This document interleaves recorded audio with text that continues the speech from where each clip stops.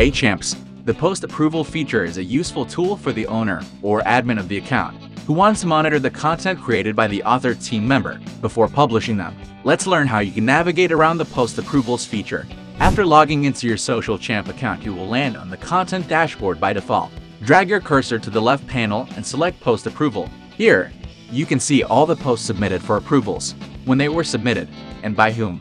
You can approve and decline all posts by clicking the buttons at the top left, or approve and decline individual posts by clicking the buttons at the bottom of each post. You also have the option to edit the post in the pending section by clicking the pen icon. A pop-up composer will show up. After making the changes, you can hit save. Please note, this does not approve the post but simply makes edits to the post. Posts can also be filtered.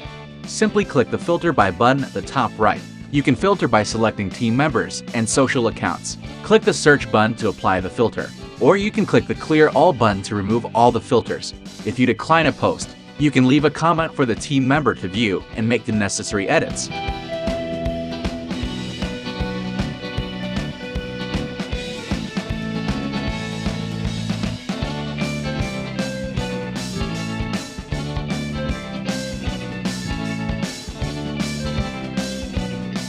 After the changes have been made, the declined post will land in the pending tab again for the admin or owner to approve. If you want to view your previously approved and declined posts, you can view them by visiting their respective tabs at the top. Great work! Now you know how the post approvals feature works. Happy approving champs!